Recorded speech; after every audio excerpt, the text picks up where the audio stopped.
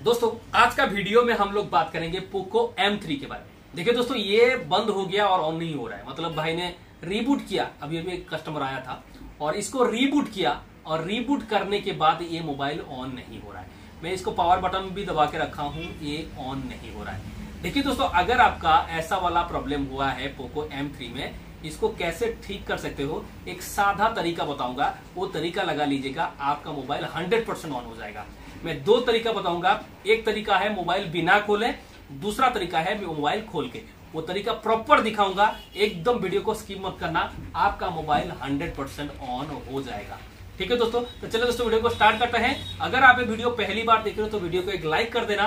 Channel को subscribe करके रखना, क्योंकि ऐसे ही मोबाइल के बारे में अच्छा अच्छा वीडियो आपको इस चैनल में मिलता रहेगा। तो चलो दोस्तों, वीडियो को स्टार्ट करते हैं। देखिए दोस्तों, ये तो ऑन नहीं हो रहा है, मैं दबा के रखा हूँ, ऑन नहीं हो रहा है।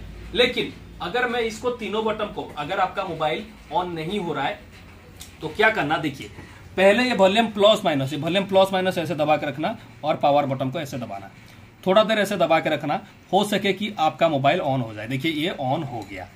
अगर आपका ये वाला प्रॉब्लम में मतलब ये वाला सोल्यूशन में तीनों बटन दबाने के बाद ऑन हो गया, तब तो ठीक है। कुछ भी करने का ज़रूरत नहीं है ऑन हो गया।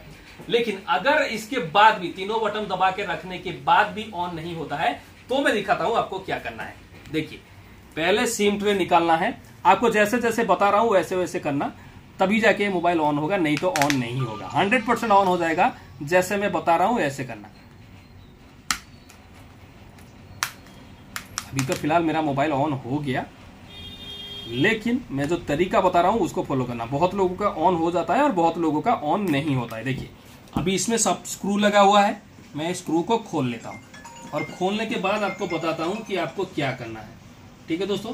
देखिए, मैं इसको थोड़ा खोल लेता हूँ और खोल के बताता हूँ आपको क्या करना है। लेकिन अगर आपको थोड़ा बहुत नॉलेज है तो ये चीज़ करना, नहीं तो फिर आप मोबाइल को तोड़, फोड़ दोगे। पहले देख के खोलना, अगर ये ढक्कन खोल के खींच दोगे ना तो फिंगरप्रिंट फ्लैग जो है कट जाएगा। तो आराम से खोलना, खोल के इसको धीरे से निकालना, बाद में स्क्रू खोलना। स्क्रू खोलने के बाद आपको क्या करना है, वो मैं बता रहा हूँ। वो चीज़ करना, आपका मोबाइल हंड्रेड परसेंट बन जाएगा।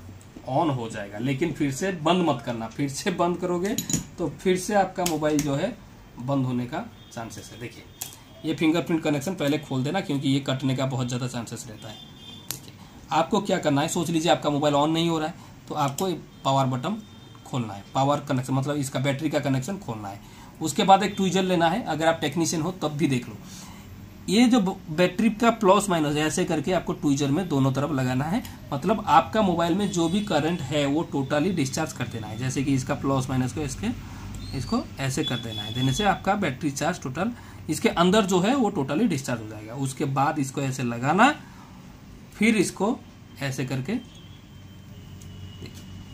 ऐसे लगाना। जैसे था, वैसे फिक्स करना। और आपको कुछ भी करने का ज़रूरत नहीं है।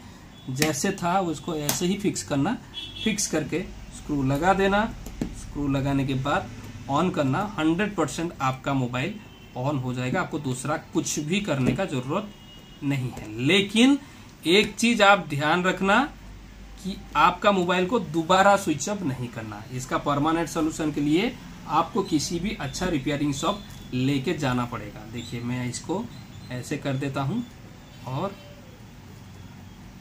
हो गया, हमारा स्क्रू लग गया। ठीक है? सभी स्क्रू हमने लगा दिया। तो आप, अगर आप एक टेक्नीशियन हो तो भी ये ट्राई कर सकते हो। और अगर, अब, अगर आप नया एक यूज़र हो तो अगर आपको थोड़ा बहुत नॉलेज है, तभी ये चीज़ कोशिश करना, नहीं तो आप सब कुछ फिंगरप्रिंट फ्लैक्स सब कुछ खराब कर दोगे। देखिए, मैं अगर अभी इसको ऑन करता हूँ, देखते हैं ये ऑन होता है कि नहीं। देखिए, ये ऑन हो गया।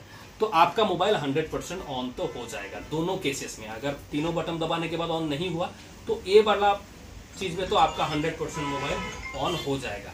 ठीक है दोस्तों? तो यही था आज का वीडियो में। अगर आपको ये वीडियो जानकारी अच्छा लगा है तो वीडियो को ज़रूर एक लाइक कर देना। इस वीडियो को ज़्यादा से ज़्यादा आप लोग का दोस्तों के साथ शेयर करना। और अगर आपको ये वीडियो जानकारी अच्छा लगा है, चैनल को ज़रूर सब्सक्राइब भी कर लेना। ठीक है दोस्तों? तो वीडियो को पूरा देखने के लिए धन्यवाद। जय हिंद दोस्तों।